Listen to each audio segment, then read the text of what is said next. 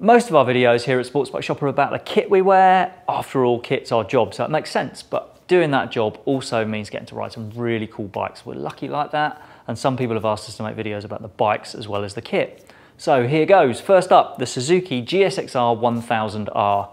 This bike is the result of two decades of GSXR 1000 development and it's reached the point where it pumps out 202 brake horsepower and is dripping with electronics that make it far easier to ride this bike than it should be. Seeing as it only weighs 203 kilos, that's near enough one horsepower for every kilo, which is pretty standard now in the litre Sports class. That's just nuts. The numbers are intimidating, but starting with the rider aids wound up tight and gradually releasing them means you get a gentler introduction to life on a litre sports bike. First of all, there are the rider modes. A mode is the sharpest and the most direct on the throttle. C is the most gentle and B kind of sits somewhere in the middle. After playing around with all three modes, I've settled on B. Mode C was a bit lame in all but the sketchiest weather. A wasn't as scary as I thought it was going to be, but I just found that B gave me a good balance.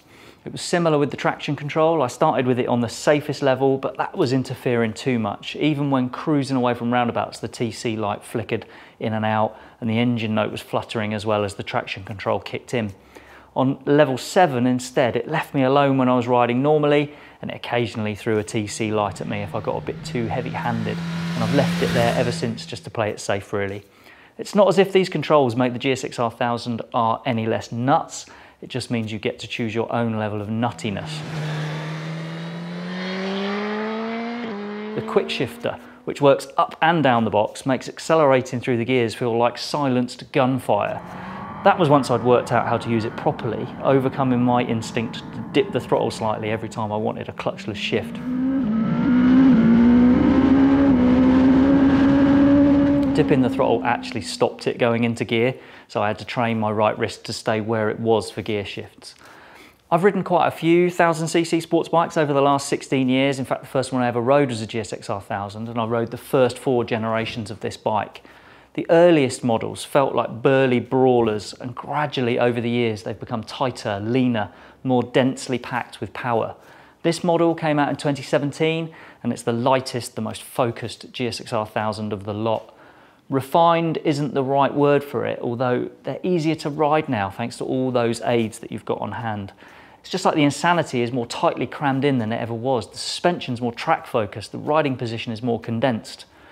I might as well be honest, sports bikes are never going to be on my personal shopping list. I don't fit them particularly well and I want different things from my bike. I want to go further and I want to take more stuff than I can fit onto the piddly pillion seat. There's also the small factor that I'd need to find 17 grand to buy a new one of these. But it's hard to spend some time with a bike like this and not come away with a hell of a lot of respect for it. This bike has the potential to be an absolute animal, but it doesn't demand that it gets to behave like one. I might not want to own one, but I've had a bloody good time riding this bike over the last fortnight, and I've still got another week before I have to give it back. Here's hoping the weather stays dry.